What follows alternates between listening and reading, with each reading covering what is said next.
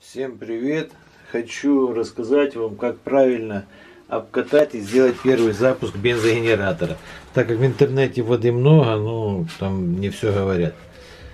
Значит, не обязательно этот генератор, у меня генератор Limited Energy, любой генератор с аналогичными двигателями, у них все в принципе то же самое.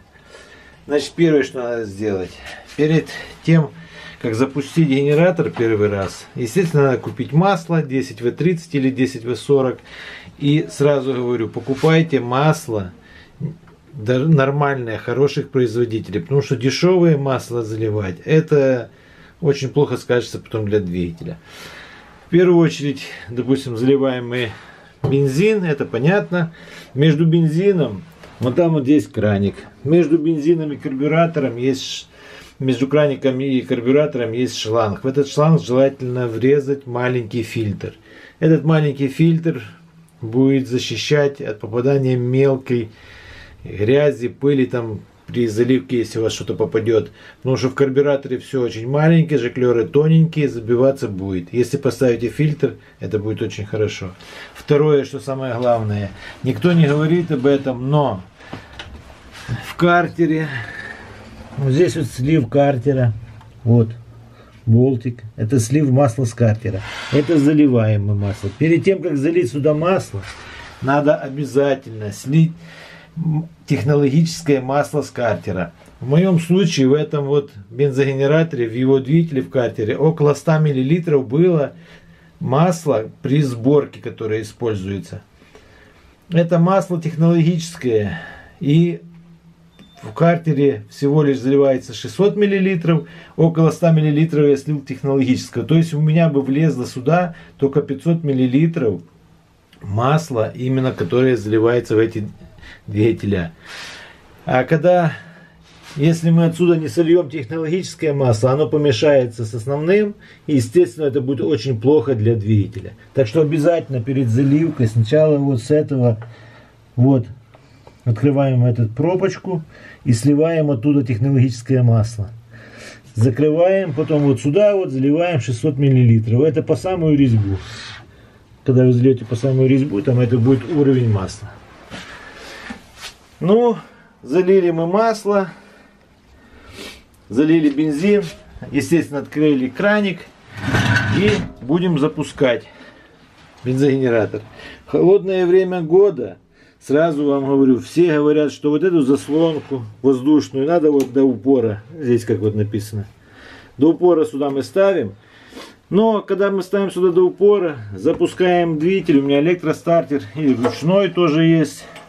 Но когда мы запустим двигатель и потом уберем сразу сюда заслонку, он заглохнет, потому что холодно, он не успел прогреться. Некоторые держат вот так вот долго, пока он не прогреется, а потом переставляют сюда. Это плохо, потому что вот так смесь сильно обогащенная, свеча закапчивается. Надо вот завели, перевели 2 секунды, 3 секунды подержали вот так вот, перевели его в среднее положение. Среднее. На среднем прогрели минутку-полторы и потом убираем полностью до конца и все. Нельзя вот так держать долго, потому что это закапчивает свечи, поршневую. Ну, это лишнее. Это так делать не надо. А все говорят так вот и сюда до конца. Так, произвели мы первый запуск. Сюда поставили. Сейчас потом запущу, уже его покажу. Завели, прогрели. Вот минут 5 прогреваем. Потом подключаем, естественно, сюда в резетку или сразу можно подключить нагрузку.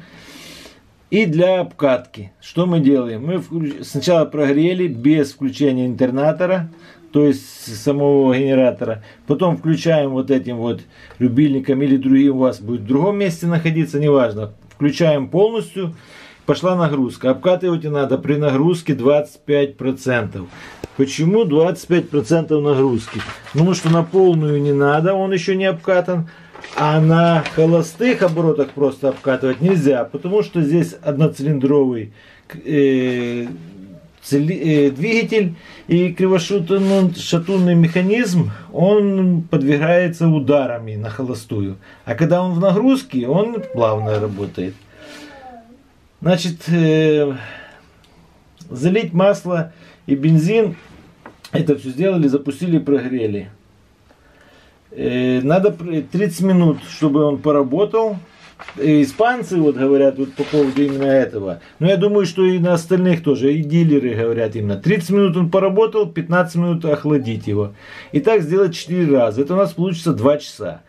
Ну, в холодное время года, я думаю, что можно 2 часа и так проработать. Если теплое время года, то лучше делать эти 30 минут через 15 перерыв. 2 часа он поработал, потом э, остыл, запустили еще раз, еще на 3 часа, и у нас получится первые 5 часов. После первых 5 часов надо слить масло и залить свежего. Э, и так еще проработать 20 часов, 20-25 часов, вот так. Потом опять мы сливаем, опять заливаем э, масло и работаем еще 50 часов. Проработал он 50 часов, слили, и следующее масло уже можно менять через 100 часов. С чем это связано? Вот этот вот э, такой частый сначала замен, частая замена масла. Связано с тем, что здесь четырехтактный двигатель, но фильтра масляного в этом двигателе нету. Поскольку его нету, то все частицы при обкатке, они будут э, собираться в масле. И этот абразив будет потом на поршневую влиять. Естественно, вот из-за этого меняется. Через 5 часов, потом через 20, через 50. Ну, когда он уже отработал там э, первые 50 часов, и плюс эти 20 и 5, это получится 100 часов. Вот в этих первых 100 часов уже двигатель обкатается полностью, полностью, все там притрется, все идеально. И потом в следующем можно 100 часов, чтобы он работал. Сейчас запустим его, я вам покажу по поводу вот этой вот заслонки.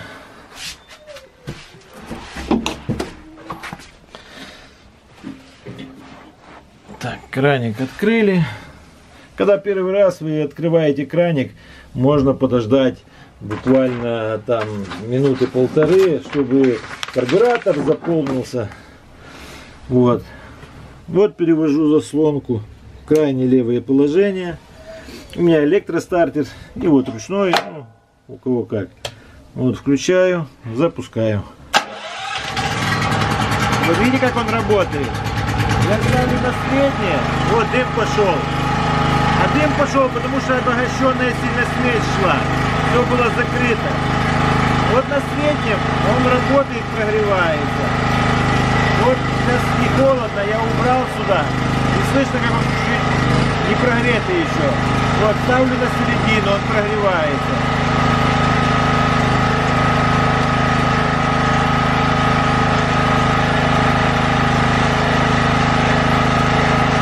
Все, прогрелся потом, когда в нагрузку, включаем вот здесь.